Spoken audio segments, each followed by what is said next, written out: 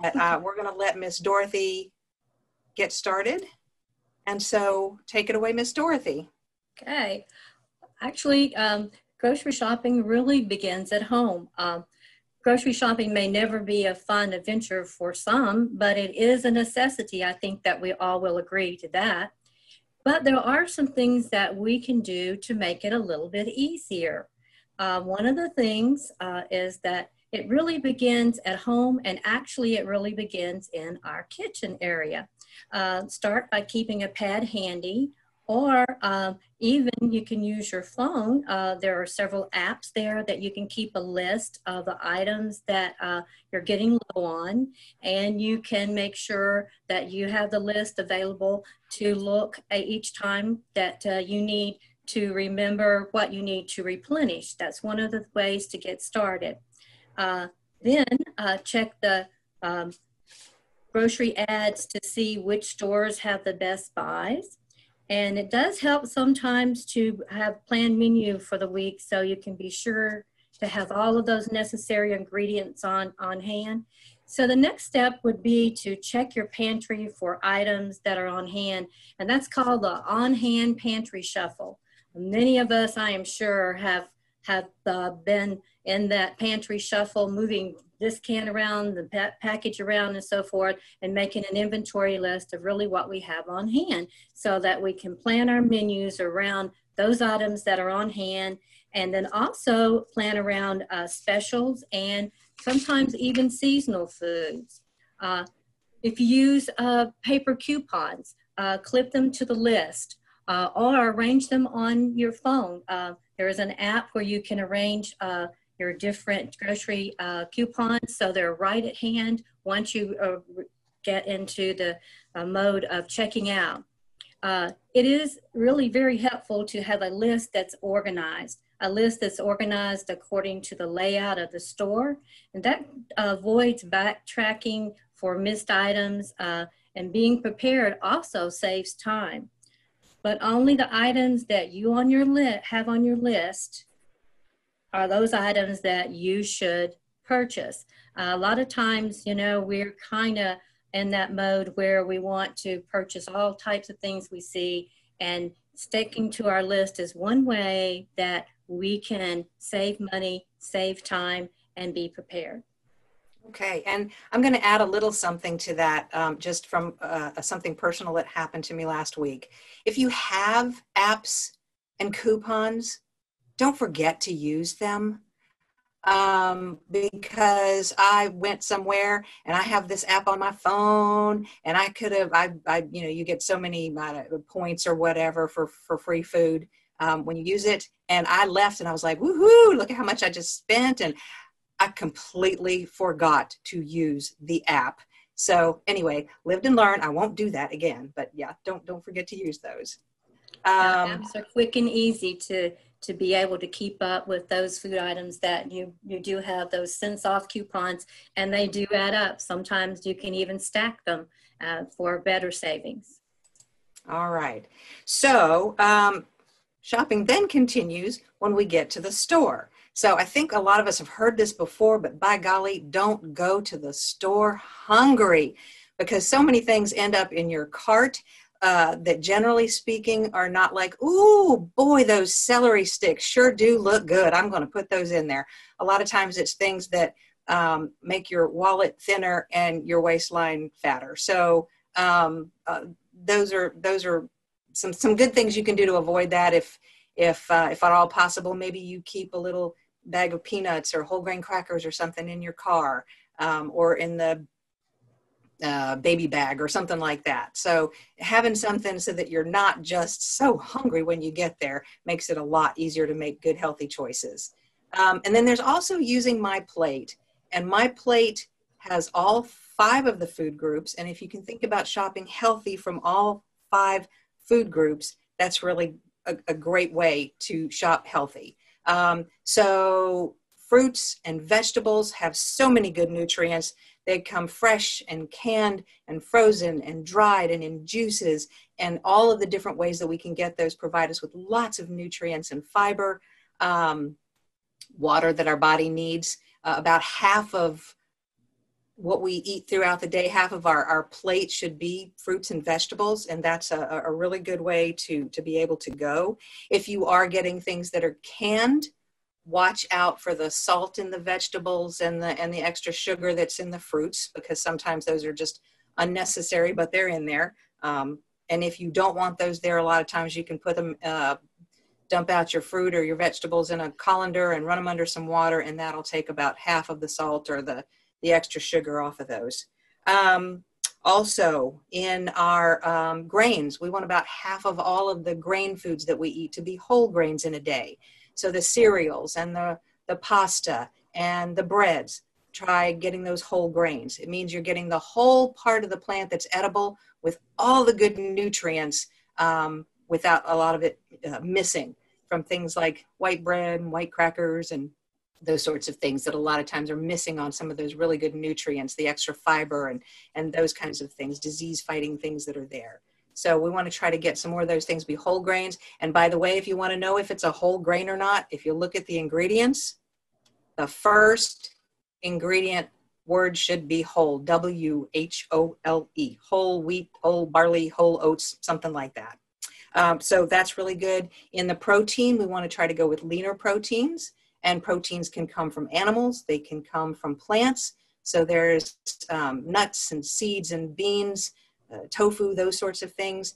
Then there's also from, again, from animals, the big three probably are chicken and beef and pork, but there's also lots of seafood in that as well. So leaner uh, is, is really good. And then dairy, again, also the lower or no fat versions of those, good uh, amounts of calcium for good strong bones and teeth. So a good variety of all those foods is a really good way to be able to go and uh, and and get get what you need.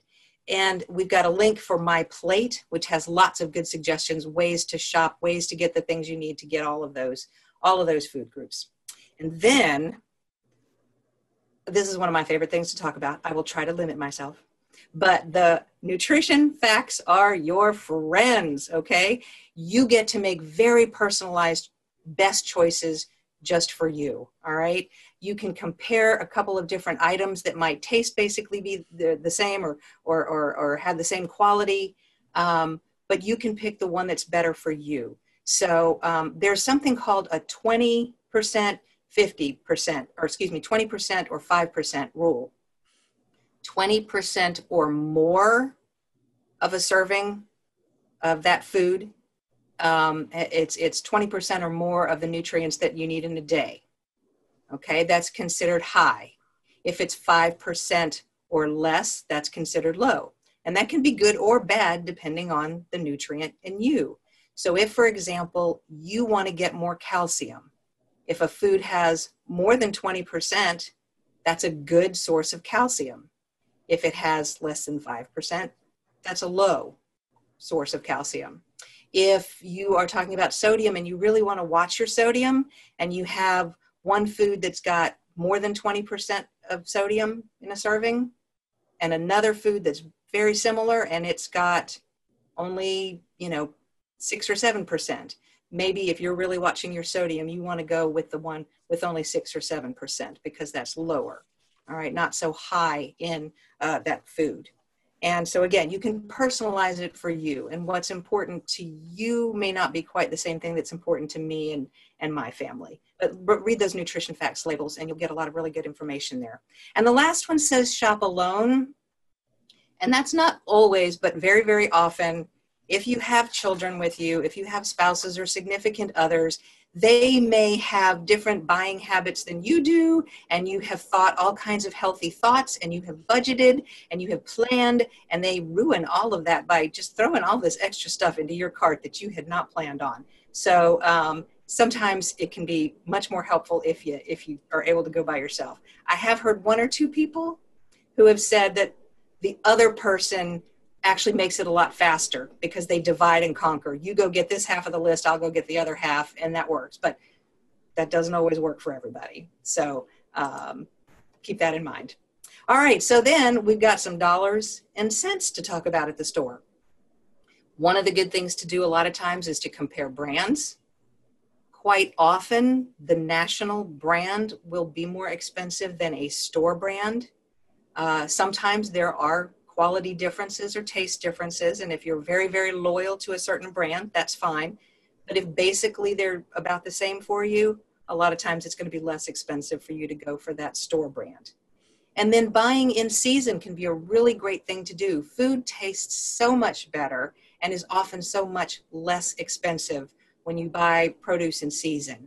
And in season is different depending on where you live. But in the panhandle of Florida, where we are, I know it's much different than in Miami, which is different from you know what it might be in in Arkansas. So we've got a link there for uh, produce and when it's in in season in the panhandle of Florida. So that's a, a good place that you could go to.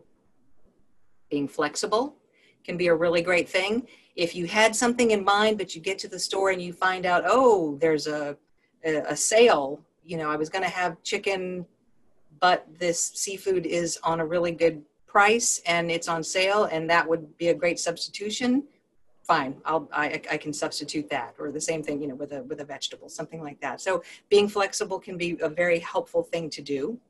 And then looking at those unit prices those are available in most stores um, and what you can do if you're if you're able to to see the the picture that we have there we're going to assume that both of these yogurts are basically about the same about the same quality about the same taste one of them is a six ounce container, the one at the bottom, and then the one at the top is a 32 ounce container. All right, so which one is the better buy? Well, for every ounce of yogurt it takes to fill up that bottom package, it costs 12 cents for every one of those ounces of yogurt. It only costs five cents for every ounce of the basically same tasting yogurt to fill up the container at the top. So that 32 ounce container is only five cents an ounce as opposed to 12 cents an ounce. It's a more economical buy. The only thing to keep in mind is if you're only going to eat the six ounce container and the rest of it's going to go bad, well, then that's not a better buy. So that's something to keep in mind and, and think about. If you don't have a unit price listed somewhere, they're usually in very small letters below the, uh, the food that you're looking at, the package of, of food you can take the whole price, the, the whole price, and divide it by the whole amount of weight, the number of ounces, grams, pounds, or even servings. And that will give you the cost per serving, the cost per gram, the cost per pound, and you could compare two different things. Most people have calculators on their phones, so that's something you can do. Or if you're just really good at math and like to do that, then by all means, have a ball with that. Um, but compare those those unit prices. That'll help out a lot. And then also, um, which makes sense for something maybe like ice cream, but maybe not with other things. But get those non-perishables first, then get your perishable items last. Uh, you know that if your ice cream is melting and sticking all over everything, then that's not so good. But you, you want to make sure that your milk's not sitting there the whole time that you're shopping. And okay, so we've got a little a little um, special thing to look at here. And I know that this might be a little bit harder for some of us in this time right now where we're stuck at home so much, but there is a huge uh, difference that can happen between whether we're going to order something in or whether we're going to be able to go to the grocery store ourselves and get what we need. So, big change there again for convenience and, and cost. If you were to get a chicken dinner for four, you got chicken, two sides, and a biscuit and I've done this. And actually, when I did it, it was about $50, but that's because there was a drink too. Um, and then if you you you you've got to include the cost of the food the delivery charge. I live in an area where the delivery charges are very high because even though there's three or four different places that will do those deliveries they're they're just not as abundant. There's there we live out a little bit further. So the delivery charge is higher. And then you want to give the person a tip so that's more money. That same meal prepared at home, not entirely from scratch. Those biscuits I looked at were frozen, okay, to, to figure this out. But but it's almost a fourth the price. So every once in a while, if you want to treat somebody to something, this can be fine. But to do this over and over again, that gets really expensive. So for this particular example, winner, winner, homemade chicken dinner. Okay. Um, Miss Dorothy. Hi being a savvy shopper uh, ends at home. Uh, storing foods quickly, storing them properly, and storing them safely is very important. Um, make the grocery store your last stop uh, if you're doing other errands along the way. Uh, once home, frozen and refrigerated items should be brought in and put in the refrigerator or the freezer first because perishable foods do spoil quickly. Uh, and to prevent them from spoilage, you might want to invest in something called a reusable insulated shopping bag. A reusable insulated shopping bag will assure food stays at safe temperature temporarily for a short period of time, and especially here along the Gulf Coast during the summertime when it is very, very warm, can be way over 100 degrees inside our car. Uh, it does help keep those perishable food items cold until you can return home and put them in your refrigerator or into your freezer. Uh, storing properly uh, food can help assure that it, it does keep its quality and also its shelf life. So once you are home and you are starting to put your foods uh, into the refrigerator, those that are perishable, uh, there are some tips that will help you keep foods fresh. One is condiments like uh, mustard, uh, ketchup, and so forth should be stored uh, in the door shelves. Uh, store those dairy products uh, and ready to eat foods on a higher shelf where it's a little bit colder. Uh, store raw meat and meat products on that lower shelf, and that helps to prevent what we call cross contamination of other food items in your refrigerator. And non perishable food items can be stored at room temperature, uh, preferably in a very cool, dry, dark place. For example, your pantry or your cabinet would be a safe place to store those. Uh, safe, uh, store them safely. It's important to maintain those temperatures. Uh, the refrigerator foods should be at 40 degrees Fahrenheit or below. Those in your freezer, those frozen frozen foods in your freezer, zero degrees Fahrenheit um, for those and room temperature and those non-perishable food items like canned food items, packaged food items, and so forth uh, that are at room temperature uh, that are definitely not perishable should be stored below 70 degrees to keep to keep them from having those problems. Uh, we have a question for you. What is the most expensive food in your refrigerator? What do y'all think? What do you, yes, what do you think? Mm. All right. Well, Okay. I'll tell okay. you. I put, I put meats. There. Oh. Um, Oh, there's some good Hey, comments coming in. Oh, okay. okay, good, good. Okay. Well, the um, salmon. We got some salmon. We got meats. We have wine, seafood. okay, okay. Actually, Food that is almost out of date. That's the most expensive one because that's the, The- one you're going to be throwing away. That, that, that that's is our it, answer. That's it. The most throw expensive away. food. Yeah, the most expensive food in your refrigerator is is the food that you're going to throw away. That's like Yeah. throwing money down the drain or in the trash can. Okay. Right. So don't buy it and then throw it straight in the trash can because that would just be a very sad waste. So And be sure. Another comment was milk, which the prices are a little bit up on milk. I agree, it is expensive. So, so to help to avoid that spoiling, store it quickly, store it properly, and store it safely. Okay. Being a, uh, a supermarket uh, savvy shopper means that you are eating healthier, making those healthier choices, uh, and then saving time and saving money. And it does lead to a less stressful shopping experience. So if you have questions about budgeting, shopping, menu planning, or nutrition, contact your local county family and consumer science extension agent.